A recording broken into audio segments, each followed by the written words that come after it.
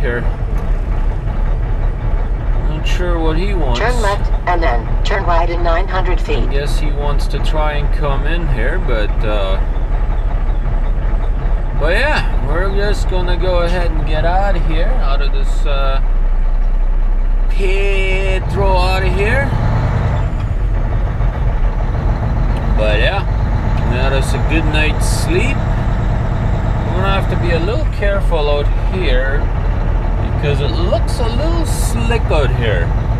Not saying it actually is, but you know, it is a little bit 900 feet, slick. That right surprise me. That's the way it looks to me. Yeah, we're, we're light, right? So border ahead. we gotta Way wait till ahead. my uh, tires warm up a little bit till we get a bit of a grip. But now these aren't even parking spots right here, and that's all filled up here. That's how full this truck stop is.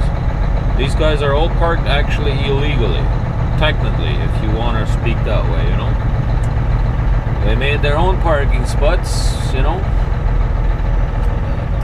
That's alright. Sometimes you just gotta park, you gotta park. That's the way it is, but how's everybody doing out there this fine morning? Uh, today is the 18th, so that would actually be wow, Christmas Day. Wow, I'm impressed. It's actually Christmas Day today by the time you watch this video, so Merry Christmas to you guys and a Happy New Year from the Trucker Rudi Show. Yeah, there we go. We got the green light right away. What's up with that, eh? That's awesome. Oh, one guy even parked right there on the shoulder. oh no, he decided to put his four ways on, so.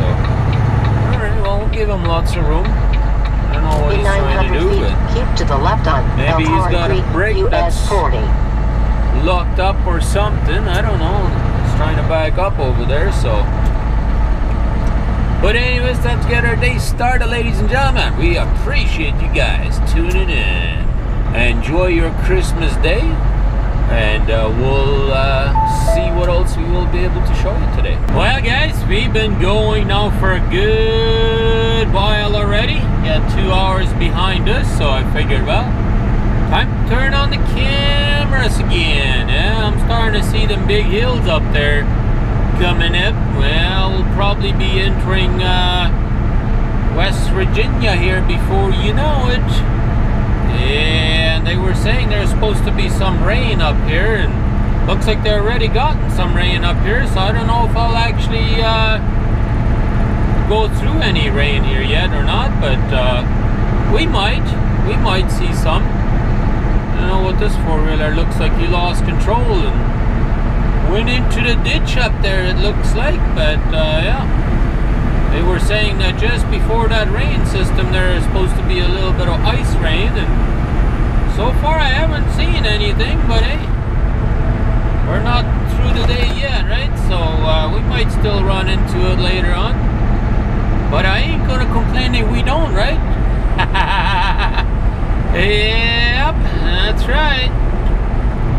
But yeah, I went ahead and uh, reserved me a spot out there on uh, I-95 there in uh, South Carolina. So that way I got me a spot reserved there. So I know I got me uh, a guaranteed spot. So I know I can uh, park there for the night. So I don't have to worry about getting parking tonight.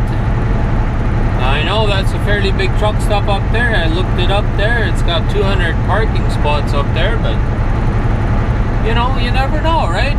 It might be a big truck stop, but that doesn't mean there's guaranteed to be a parking there, right? And since uh, I don't remember ever being down there, I don't really know if I ever been at the truck stop. I really don't think so. So, uh, so yeah, we'll, uh, we'll go down there and uh, we got a guaranteed spot. We'll probably fuel up over there. I think I can make it up there with my fuel that I got. We got 495 miles to go yet.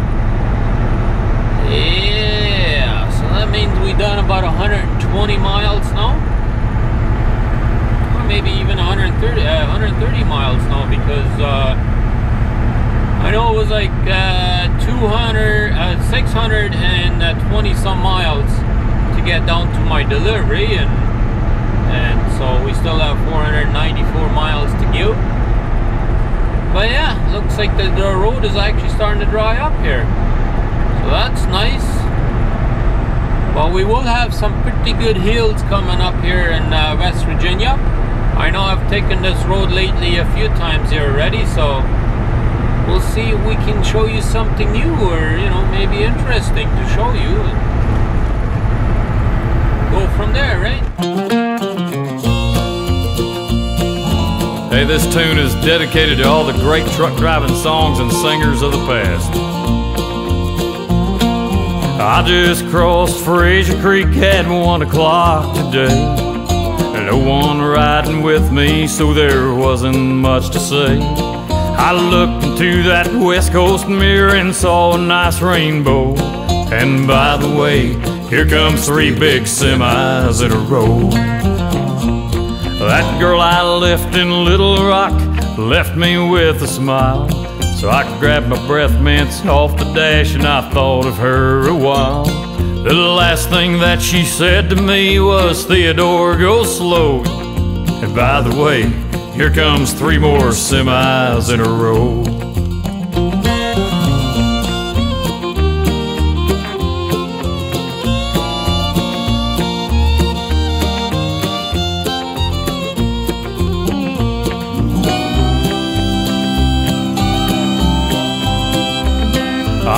Wonder if this Peterbilt could talk, what would it say? Would it tell me about the sights it's seen across the USA? Hey, I hear Stone Cold Fingers playing on the radio. And by the way, here comes three more semis in a row. I hope I can gear this old truck down, cause there's a cop. Though I could have used a little more speed to get me to the top of Monteagle, where a few have died and left us feeling low. And by the way, here comes three more semis in a row.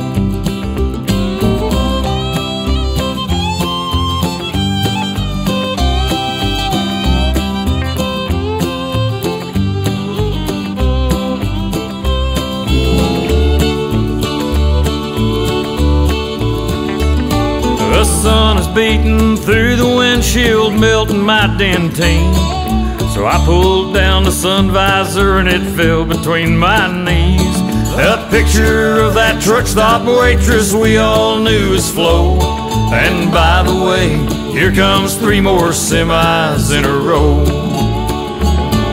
Someone on the CB is cussing them orange cones, and the brake check up ahead is making my tires moan. I see that flag man holding up a sign and it reads slow. And by the way, here comes three more semis in a row. Will they ever finish Highway 59? I sure don't know. And by the way, here comes three more semis in a row. Man, I can't believe this construction. Where in heck's that fifth gear? It's here somewhere. Man, I gotta get back to Little Rock. I wonder whatever happened to old Flo.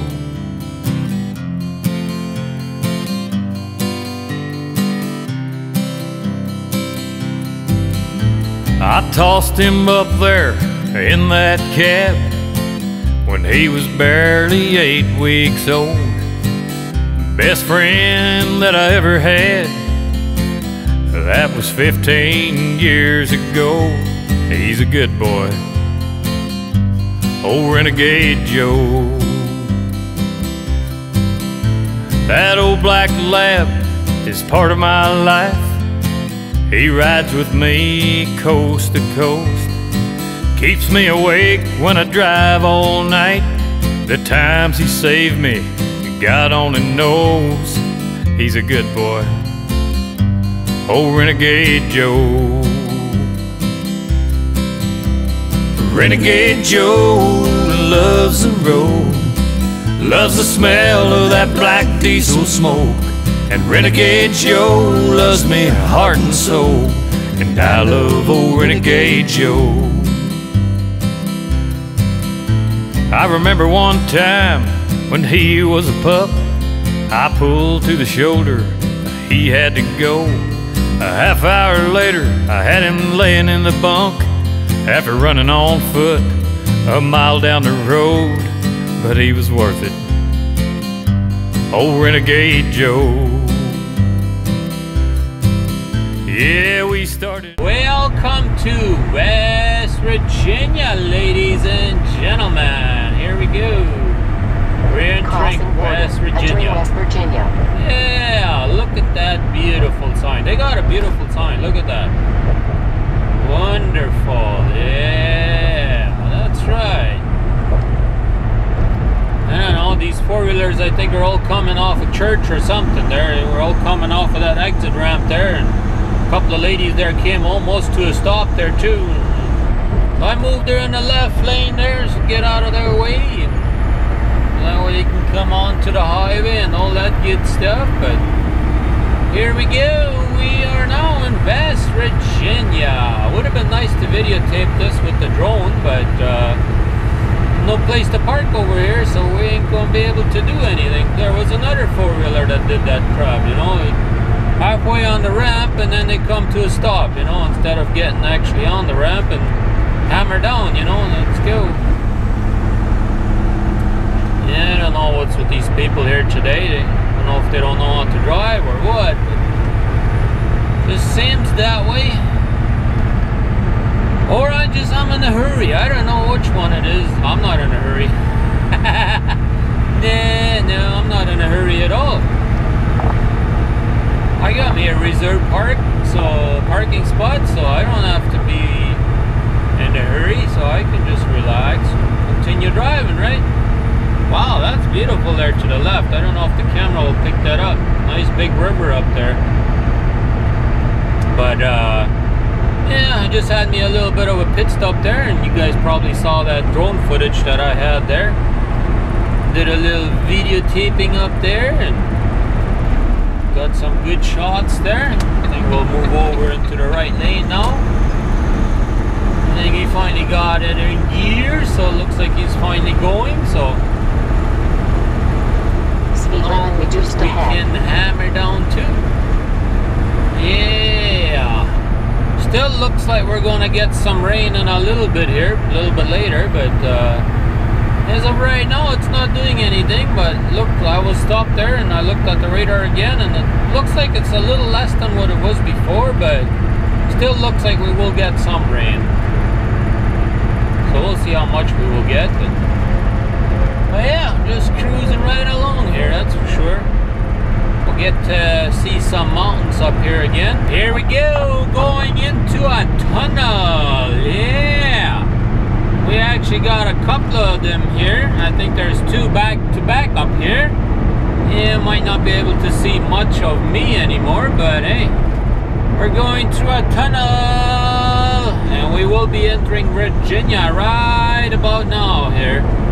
As soon as we got about in the middle of this tunnel, we will be entering Virginia. Yes, indeed. So we still have 286 miles to go, but uh, hey, we done good Crossing already border. today. Entering Virginia.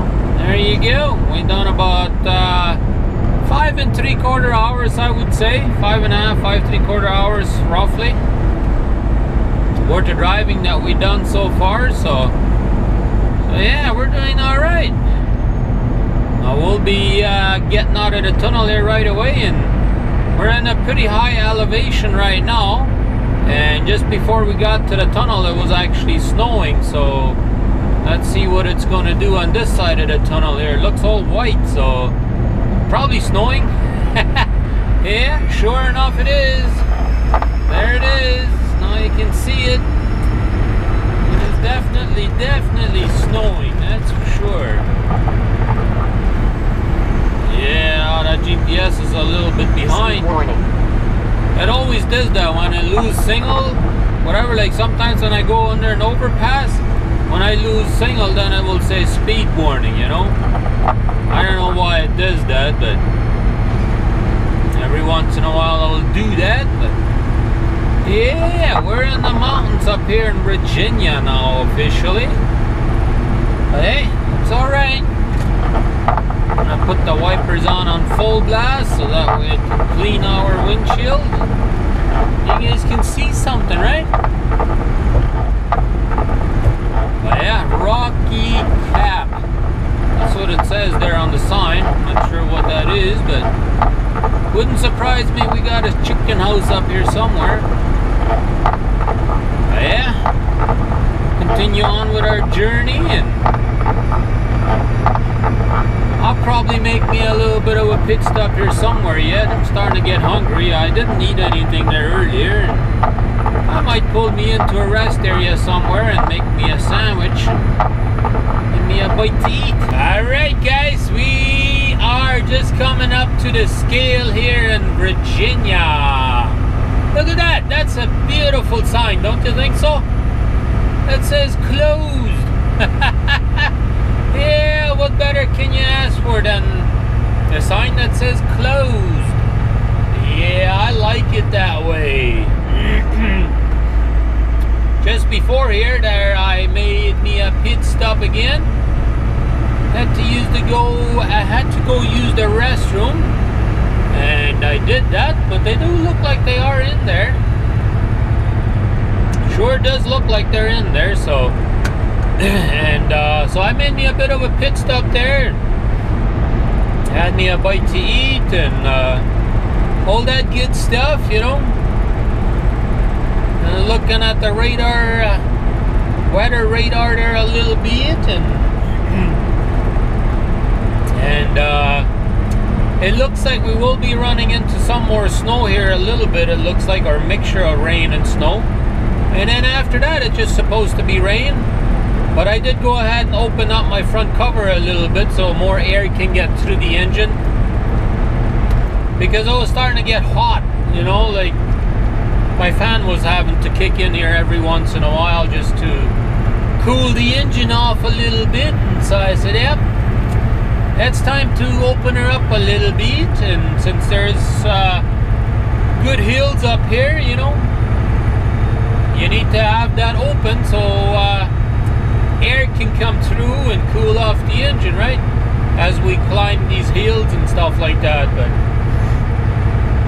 yeah, it's starting to get towards the evening, and we still have 270 miles to go, pretty much. So, uh, well, that would be to our delivery. I think it's 20 miles or 25 miles less from the Flying J where I'm going to be spending the night at. But uh, yeah, that's kind of what we're looking at. So uh, we will probably see a little bit of mixture of some stuff up here. I wouldn't be surprised if it would be snow though. but we'll see. We'll see, I guess. No matter what, we got to get through it, right? But uh, it is supposed to be the warmest day today out here in South Carolina. It looks like for the whole week. So uh, yeah, we're going to enjoy it too. I mean, I even climbed out of the truck here. I wasn't wearing no jacket whatsoever. Just walked right inside. I mean, it was a little bit on the cool side, but after coming uh, from Manitoba, where it's like 20 below zero Celsius, that is, you come up to here and it's uh, zero degrees Celsius, or, or even on the plus side, then it's like uh, it ain't cold at all. And I believe, if I'm correct, we got a tunnel to go through here. Yep, it says there, tunnel to go through again. So I don't think I'm going to show you this one too much. I mean, you'll see the entrance here in a minute or two, but I think we'll cut the cameras as we go in, so you can see the big mountain we got to go through. So let's hope that doesn't collapse while we're in there, right? Well, it shouldn't, right? Almost looks like they got like an emergency Oh no, that's just where they park vehicles there, but I think they got like an emergency line in the middle there where they can get into and they got openings here where you have like emergency exits. but anyways, I thought I you know, I thought I wasn't gonna show you this, but hey I guess I decided to talk and, and then that's what happens. you get through this and that's the way it goes, right? But yeah, it looks like they do have doors there, but every 100 feet or something like that. And those are emergency exits or entrance or whatever you want to call it. Get in there and get out if you uh, have to. And there's telephones there every once in a while too. But here we go. We're just about to get ready to get out of here. Out of this tunnel anyways. Yeah, there we go. Take a minute for the camera to adjust. Yeah, it always adjust to, uh, it automatically adjusts to the settings that it needs, right? So, yeah, anyways, we'll continue cruising along here and uh, make our way towards our delivery, right? Well, well, well, guys, we have made it to our Flying J, which is only 22 miles away from our delivery. Yeah, that's awesome. I like it that way. Oh, yeah. So we got us a front row parking here, which is reserved parking. And I was pretty much the only one that got the reserved parking up here. But hey, that doesn't matter. At least I got me a good parking spot. I'm very close to the building up there, if you can see that.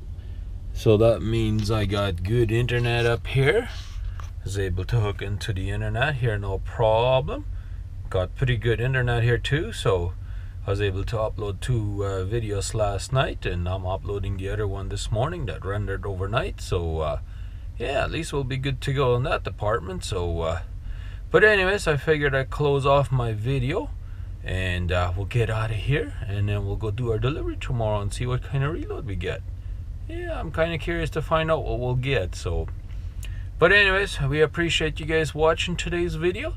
Don't forget to hit that subscribe and like button, all them good things. Share the video. That that makes us love our job, right? Yeah. So, have a good one. We'll see you right here tomorrow morning on the Trucker Rudi Show.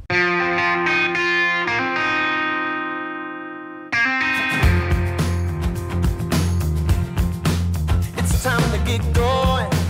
It's time to move on. Put this behind me. That day is gonna come.